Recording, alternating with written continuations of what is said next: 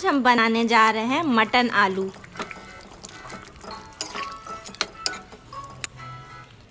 चलिए बनाते हैं हम इसे। कढ़ाई हमारा गरम हो चुका है, मैंने तेल डाल दिया है।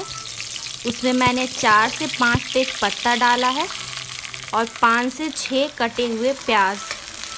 प्याज को हमें हाई फ्लेम पे गोल्डन ब्राउन होने तक फ्राई करना है।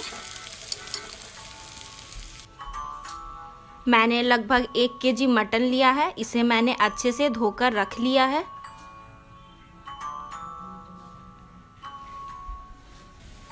प्याज हमारा गोल्डन ब्राउन हो चुका है, अब हम मटन पीसेस को डाल देंगे।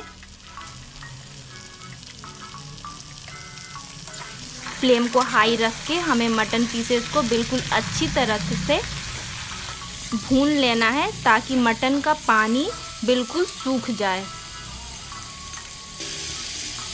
अब इसमें हम एक चम्मच हल्दी पाउडर, दो छोटे चम्मच नमक डाल देंगे और इसे मिलाकर अच्छे तरीके से भून लेंगे। फ्लेम को हाई रखेंगे हम। इधर मसालों के लिए हमें चाहिए लहसुन, खड़ी मिर्च, लाल, अदरक और हरी मिर्च आठ से दस, काली मिर्च ज़ीरा, कटे हुए प्याज लगभग एक से दो, छोटी इलायची चार, बड़ी इलायची दो और लौंग लगभग चार से पाँच और एक चम्मच धनिया पाउडर। डालकर इसका हम स्मूथ पेस्ट तैयार कर लेंगे। इधर हमारा मटन बिल्कुल अच्छे तरीके से भुन रहा है।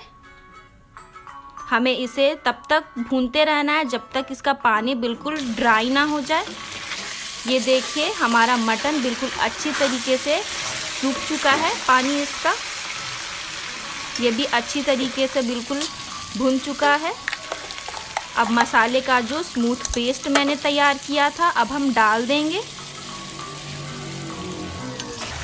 अच्छे तरीके से मिला लेंगे हम इसे। ताकि सारी चीज़ें अच्छी तरीके से मिल जाए हमारी हाई फ्लेम पे इसे हमें मसालों में भी भून लेना है, ताकि इसका फ्लेवर बिल्कुल अच्छा आए और मसाले हमारे कच्चे ना रह जाएँ।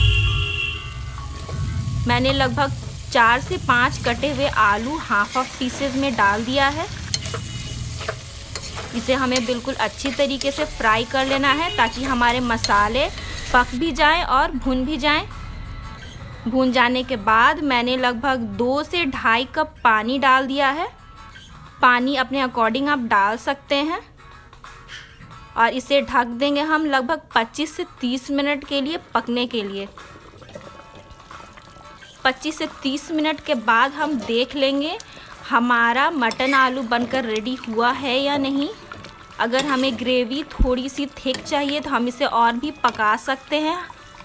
खुली आँच पे, ताकि इसका ग्रेवी थिक हो जाए। मुझे जैसी ग्रेवी चाहिए थी, बिल्कुल वैसी ही है। तेल भी साइड से मटन ने छोड़ दिया है। मतलब हमारा मटन बिल्कुल रेडी हो चुका है। अब हम इसमें धनिया की पत्ती कटी हुई डाल देंगे। इसे अच्छे तरीके से हम मिला लेंगे। हमारा मटन बिल्कुल अच्छे तरीके से बनकर रेडी हो चुका है। हम इसको सर्विंग बोल में निकाल लेंगे। हम मटन को रोटी के साथ, पराठे के साथ, चावल के साथ इंजॉय कर सकते हैं। ये देखिए, हमारा मटन आलू बनकर रेडी हो चुका है। Thank you